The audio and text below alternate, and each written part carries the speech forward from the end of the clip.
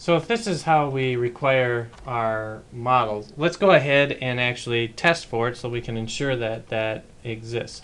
The first thing I'm going to do is just comment that out and then I'm going to go into our service models testing framework and I'm going to just create a simple test here um, describe required uh, church relationship okay and so we require that and uh, simply going to test that for that by setting the church ID equal to nil so that we don't have a church anymore and then it should not be valid.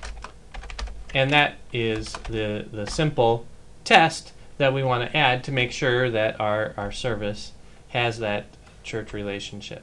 So let's go ahead and run our test.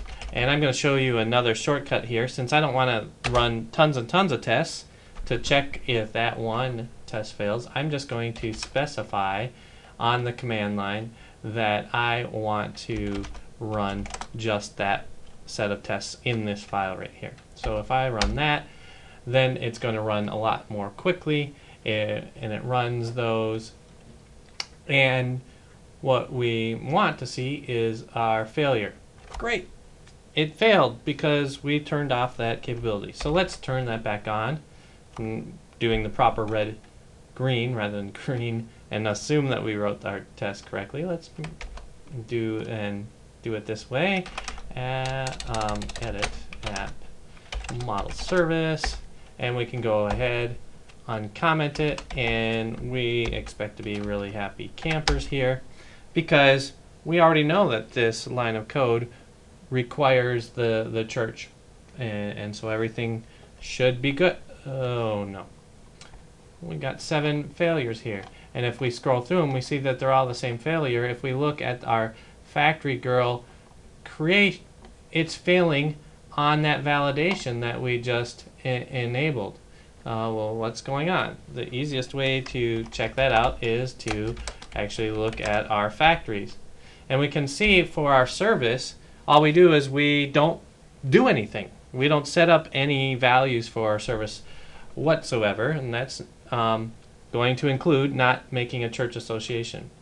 The way in Factory Girl that we make these associations is we just do something like this. We call the church factory from our service factory, and it will uh, make that association for us. In this case, it will call the equally boring church factory here that does nothing, but it will make the connection between the church object that it creates and the service object that it creates so that that relationship will be set.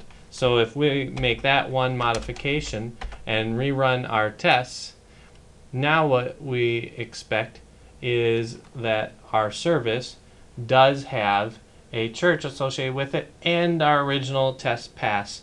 Hooray, we now are able to test for that relationship. And and now what we will want to do is go through our ERD and do the same type of thing for all the required relationships. Uh, just a, a, note that we don't want to do that for all relationships because some of them are optional. Like the, look at down here in our ERD between our services and our rides. We have it optional because it is possible for a service to exist where a church is promoting that it's in the database, but no one has yet signed up to say, yeah, I'll give someone else a, a ride to this service.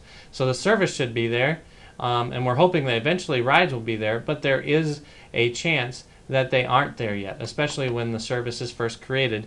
We definitely expect no rides to exist, um, even if it's a small point in time between when the service is created and when the first ride is set up for that service. And so we can't just willy nilly throw in these relationships. We need to carefully look at these relationships and say, yes, every service has to have a church because it doesn't make sense otherwise. So when we create that service from the very beginning, it's going to have that church in place. And um, it will be a little bit interesting because when we create the church for the first time, we're also going to have to create a service by our ERD. We're not going to create a church and then later throw in some services. Um, we'll, we'll, we'll look at that in, in future videos. For now, I just want you to carefully look through the ERD and figure out where these relationships are required and where they are optional.